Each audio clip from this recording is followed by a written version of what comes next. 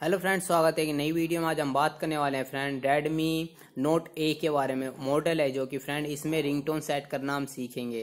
तो फ्रेंड, इस चैनल पर पहली बार आए हैं तो चैनल को सब्सक्राइब और लाइक, बेल आइकन का बटन ज़रूर दबा दें ताकि आने वाली वीडियो का नोटिफिकेशन आपको मिलता रहे। फ्रेंड, बहुत सारे फ्रेंड ऐसे होते हैं जो कि महँगे महँगे फ़ोन ले लेते हैं डिवाइस ले लेते हैं, फिर भी फ्रेंड जैसे कि रिंगटोन सेट नहीं कर पाते हैं। तो आइए आपको सिंपली जो मैं बताता हूँ, आपको रिंगटोन कैसे सेट करना है। फ्रेंड आपको सबसे पहले आपको सेटिंग्स को ओपन कर लेना है। जैसे कि देख सकते हैं मैंने सेटिंग्स को ओपन कर लिया है। और ओपन करने के बाद आपको करना क्या है, यहाँ पे साउंड पे जाना है।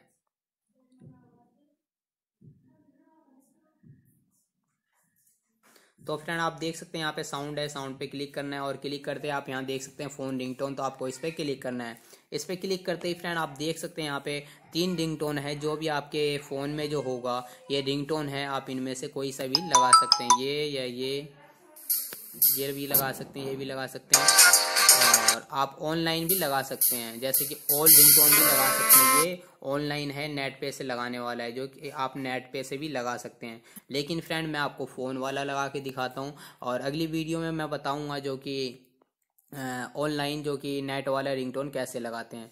तो आपको सिंपली जो है इस पर क्लिक करना है। मैं इस पर लगा के और बैक चले जाता हूँ, जो कि ये मेरा रिंगटोन लग चुका है। आप भी इसी तरह से लगा सकते हैं। तो फ्रेंड आज की वीडियो आपने सीख लिया है रेडमी नोट एट ए, जो कि इस फ़ोन में कैसे रिंगटोन सेट करते हैं। तो फ्रेंड, आज के वीडियो में बस इतना ही। शेयर, सब्सक्राइब और लाइक बेल आइकन का बटन ज़रूर दबा दे, ताकि आने वाली वीडियो का नोटिफिकेशन आपको मिलता रहे। मिलते हैं नेक्स्ट वीडियो में एक नई टॉपिक के साथ। तब तक के लिए नमस्कार।